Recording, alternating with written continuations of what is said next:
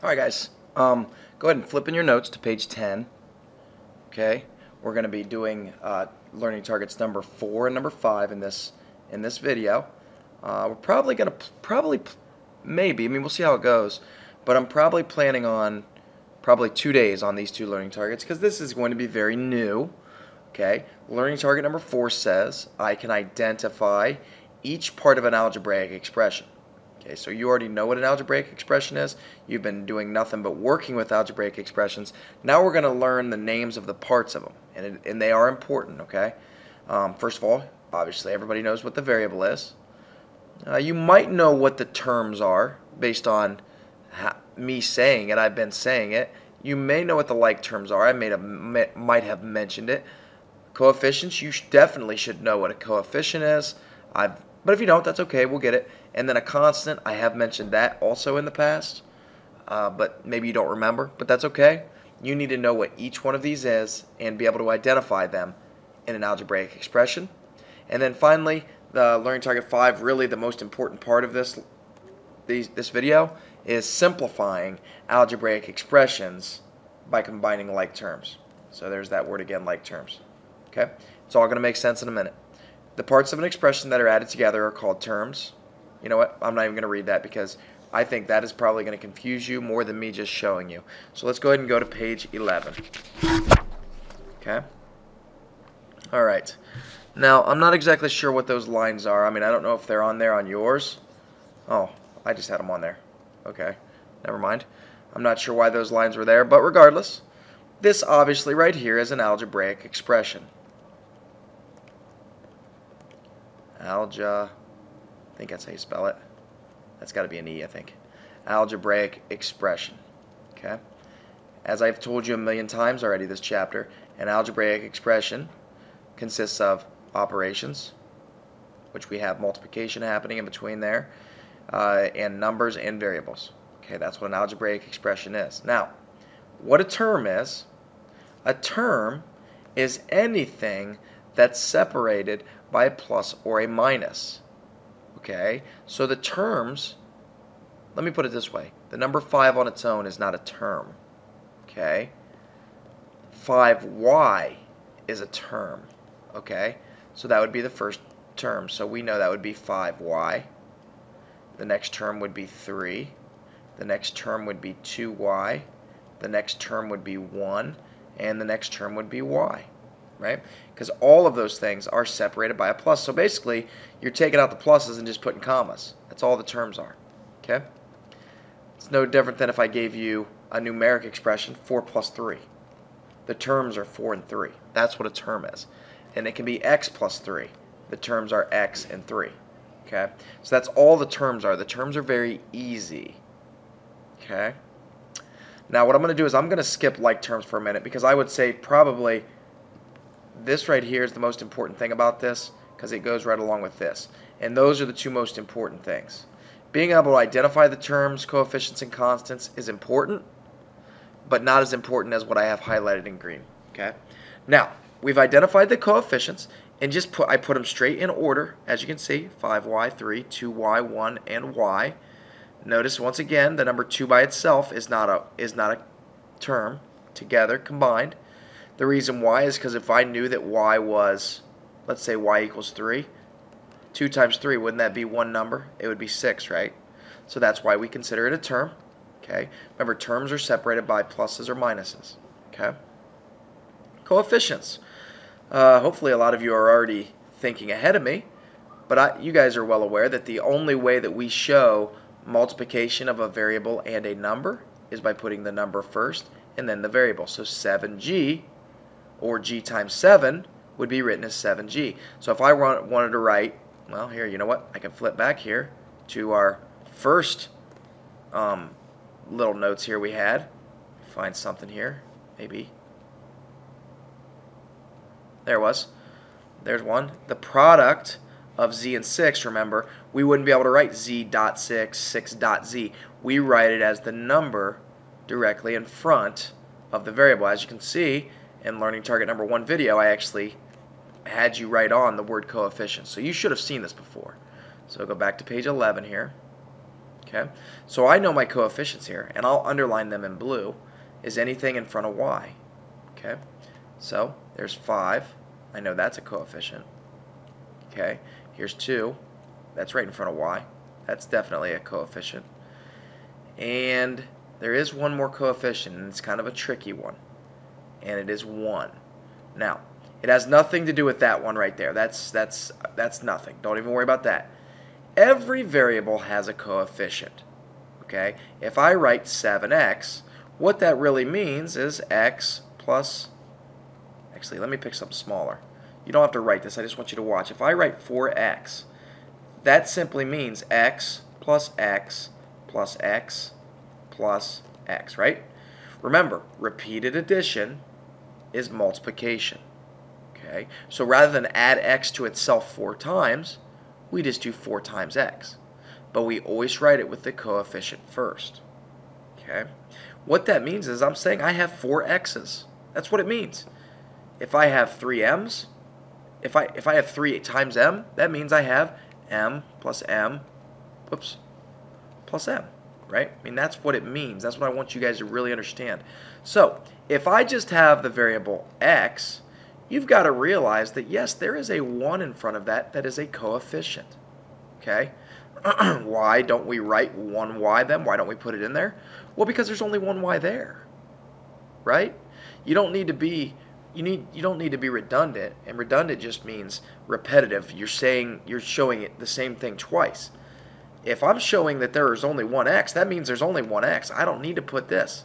The other reason is is remember this means multiplication so if I do 1 times x, what's 1 times x, everyone? x, right? I mean, that's what it is. Doesn't matter what x is because anything times 1 is that number. That's the identity property, right? We've talked about that, the identity property of multiplication.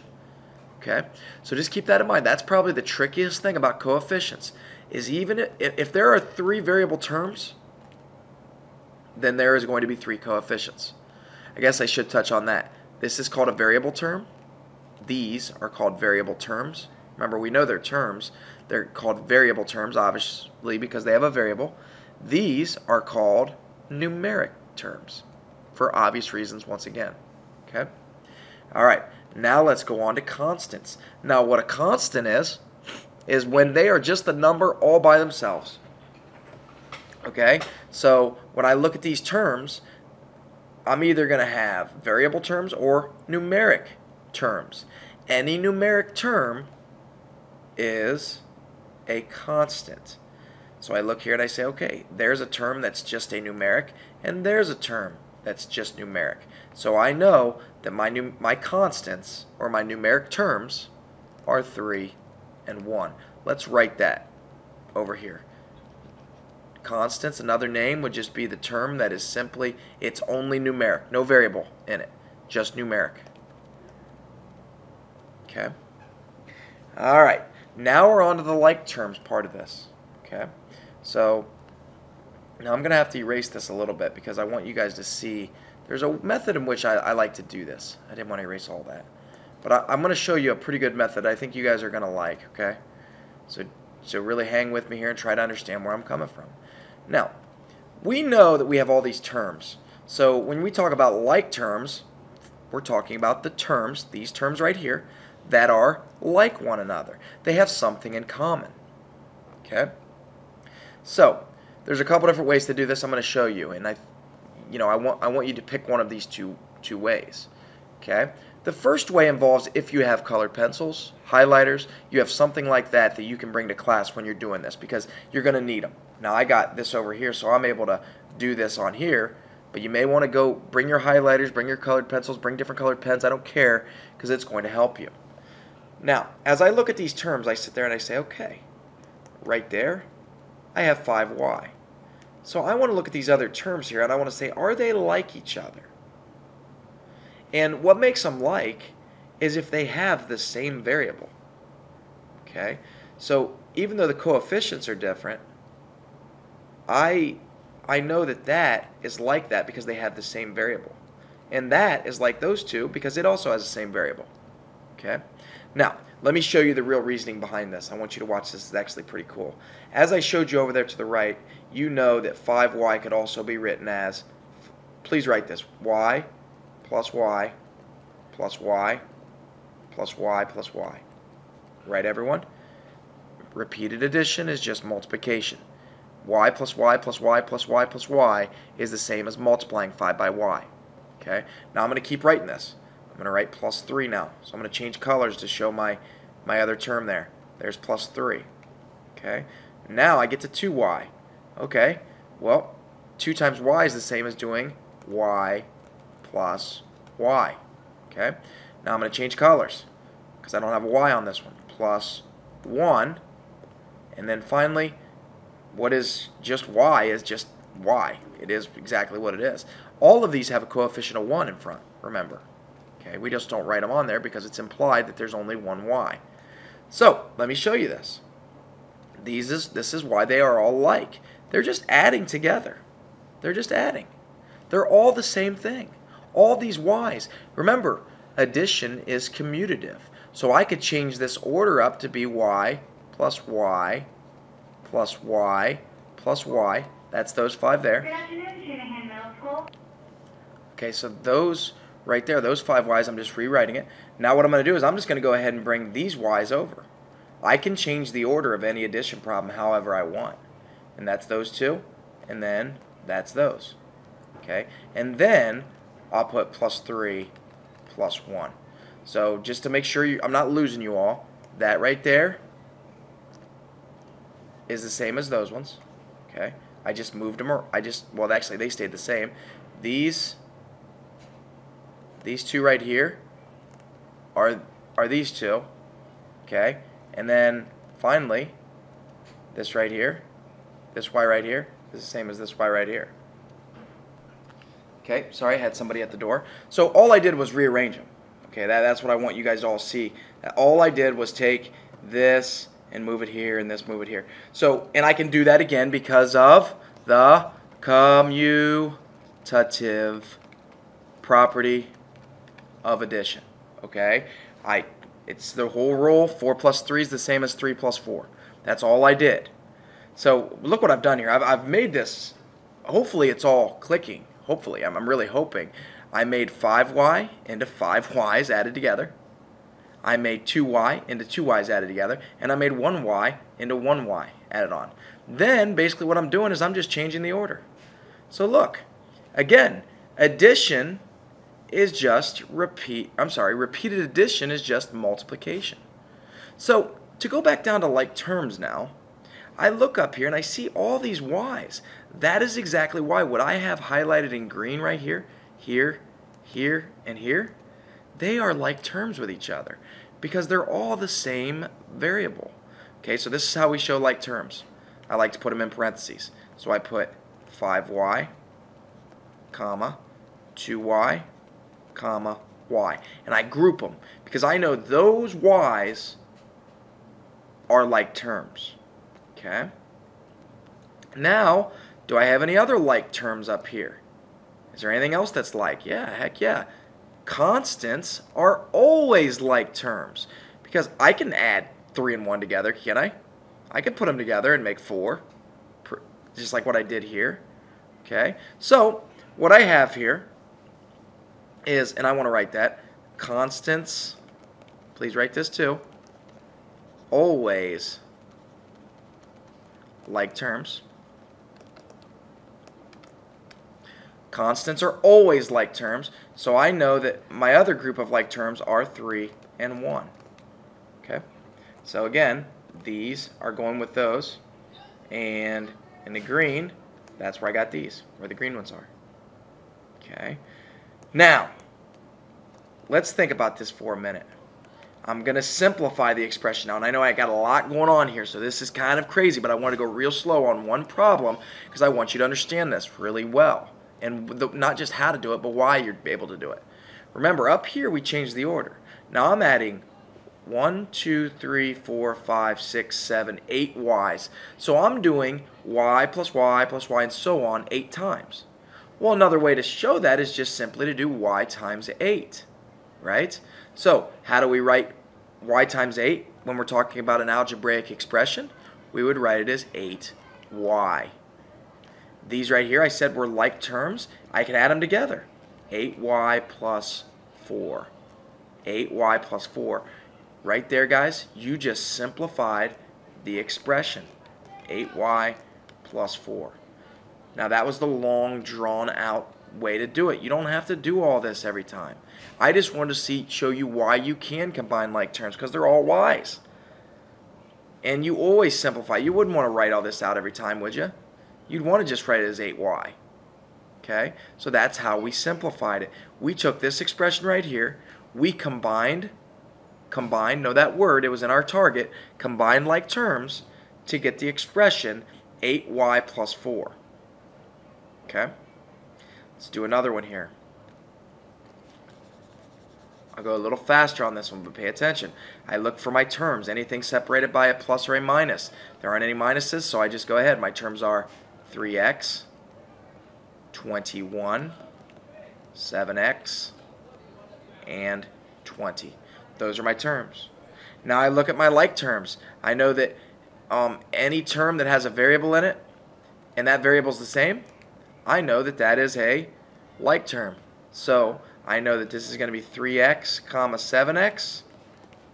And my other set of like terms is going to be 21 and 20. Okay?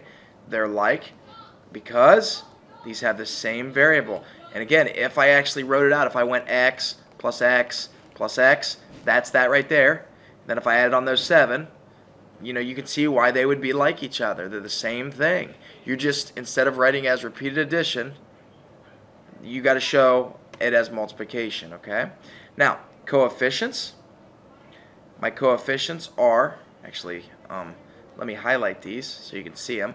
This is like and this is like. And we'll, and this is like and this is like, right? Um, just keep in mind, this is where the highlighters come in. It really helps you guys if you bring your highlighters or your colored pencils or your markers and you and you show what is being like each other. These green ones are like each other. Now you could rewrite it if you wanted to. You could actually go like this if you wanted to put the like terms next to each other. Again, all because of the commutative property. You can you can do it that way, but you don't have to. Okay, coefficients. I know the coefficient is any number in front of a variable, so here we got 3 and 7.